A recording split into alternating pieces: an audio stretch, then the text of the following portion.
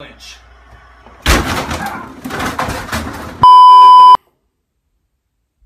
Are you kidding me, bro? Are, are, are, This team pissing me off so much, bro. We were up 20 to 10, looking good. But then guess what happens? The offense stops. Like every single week in the second half. The offense just stops.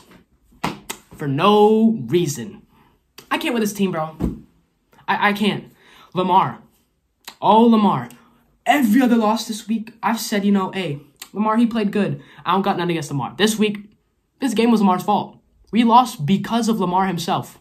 The only person that's responsible for this loss is Lamar. Let me explain why. So, we had the ball, up by 10 points. Lamar gets a snap. It's perfect right up here. It's a little bit high, but still should have caught it. Fumble, goes back. He's running backwards, throws a stupid interception. Shouldn't have thrown that ball, should have been an easy throwaway. Number two, last drive we had. I don't even know what happened. Just fumbled the ball. He just fumbled the ball. Lamar can't play like this, man. He can't. And I know he's been playing great this season overall, but we just can't afford to keep playing like this.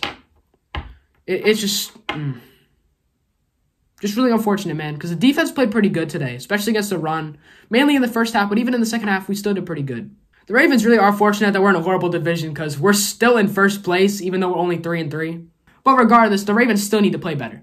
Overall, this loss really pissed me off, but I do think we can get back on track. It's just Lamar can't have another game like this, man.